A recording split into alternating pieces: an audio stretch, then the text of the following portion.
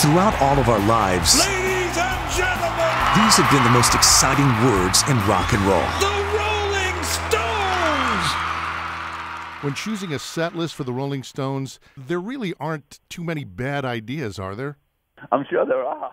I'm sure. Well, let's just say that some ideas are better than others. You know, like for instance, opening, this opening number is kind of important. I mean, we we did try "Sympathy for the Devil" in some cases, you know, and a lot of those shows in Europe were in the daylight, so I didn't like doing that number in the daylight opening. It didn't work, you know, so I dumped that.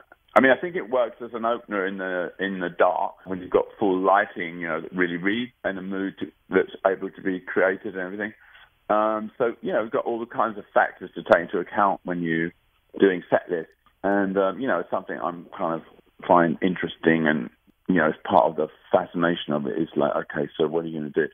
So people, you know, lots of people want you to do different numbers, this number and that number, but but then if you leave out certain numbers, people get, you know, lots the majority of people come to a stadium show. They say, oh, they didn't play, you know, Honky Tonk Women, or they didn't play this, or you know.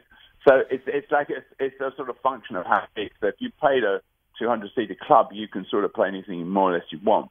Um, but, but if you play 50,000, you, you there's a certain element that of people that come to a show like that that want to play certain favourites, and if, if you don't deliver those favourites, then they, you know, a certain percentage of those people will be disappointed they didn't get what they wanted, they thought they were going to get. So you, it has to be a balance there, you know.